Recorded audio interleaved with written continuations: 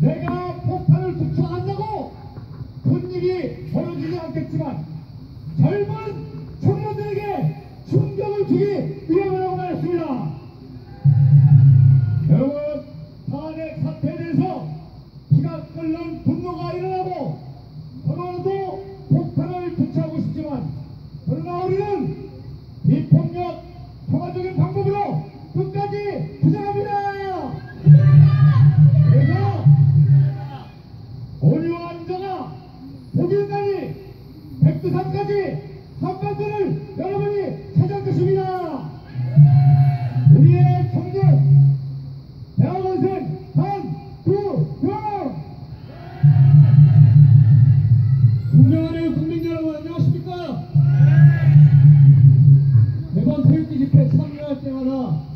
신이 나서 올라오는데 오늘은 발걸음이 정말 무겁게 올라왔습니다.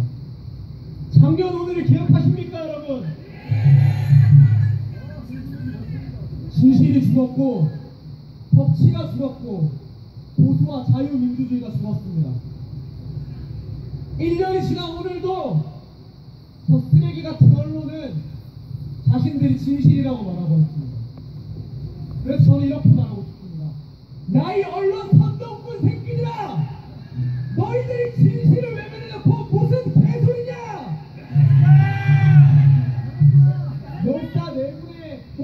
목숨도 양 묻어놓고 무슨 진실을 외친단 말입니까? 그리고 법관이라는 작자들이 아직도 1년이 지나서 자기들 밑에서 판결받고 법치에서 살려고 합니다. 야이 유사법관 쓰레기 새끼들아! 니들이 법치를 파멸시켜놓고 무슨 개소리냐! 그리고 또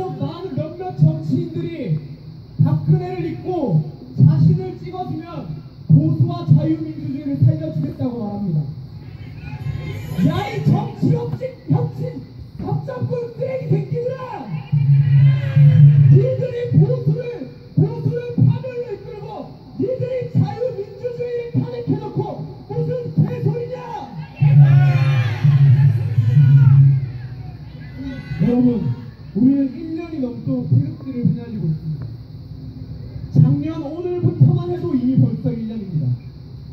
1년 동안 태극기 휘날리면서 무슨 생각하셨습니까? 저는 조금이라도 희망쳐서 모르는 사람들 좀 깨달으라고 태극기 힘차게 휘둘렀습니다. 하지만 이제는 생각이 좀 바뀌었습니다. 물론 아직도 희망이 있는 몇몇 국민들이 있을 수도 있겠지만 더 이상 저는 그, 그들에게 큰 희망을 가지지 않습니다. 제가 지금도 이렇게 태극기 드는 이유는 당연히 정의와 진실이 태극기와 함께 있고 박근혜 대통령님을 혼자 가게 하실 수 없기 위함이고 그리고 자유민주주의를 지키기 위함이고 미국에게 우리가 있다는 것을 알리기 위함입니다.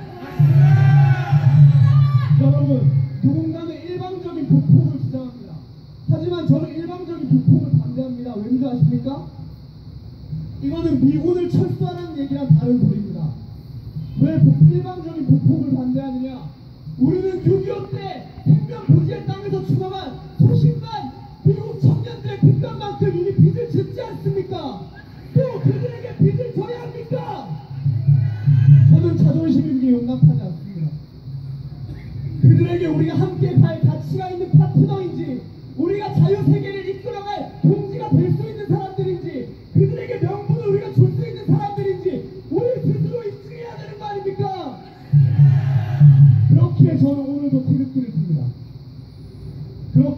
오늘도 성종이랑 함께 휘날립니다.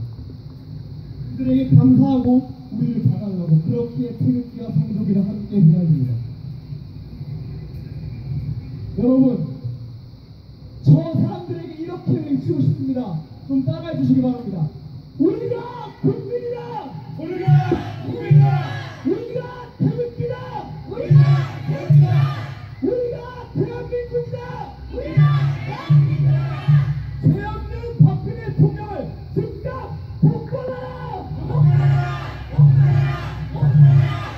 감사합니다.